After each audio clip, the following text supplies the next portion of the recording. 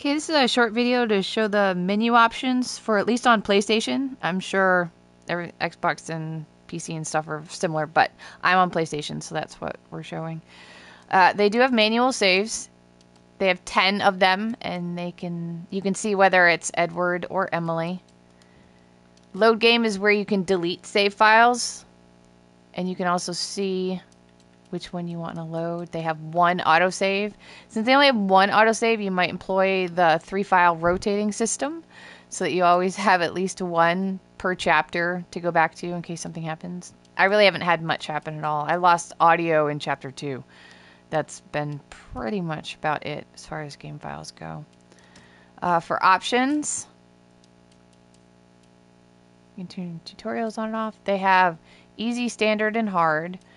Player guidance is um, modern or old school. Old school is like no tips whatsoever, and modern is more tips. So that's something that's different for this game than others I normally see. More objectives will provide hints.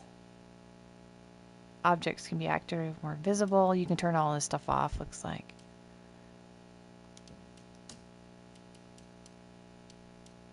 Here's the control layout it does not look like uh, any buttons are remappable.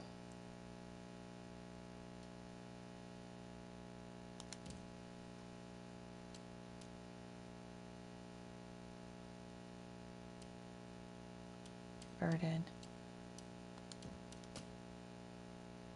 Subtitles. English, Japanese, German, and French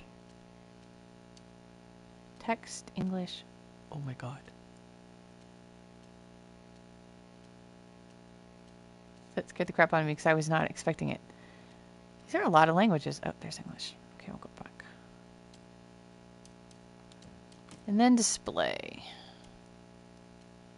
Performance or quality. I'm on an old TV, so it really doesn't matter for my purposes at all. I change depth of field.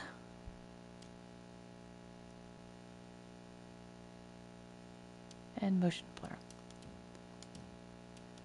So then one thing they have, I do not have, I just bought your basic. So, but you can turn on the 8-bit, I guess, if that's something that you want. not sure I can handle that personally. But if that's something you want, you can turn that on. Turn that off. So, and so that's about it just give you a sense of what's in the menus and stuff like that. So, hope that helps somebody.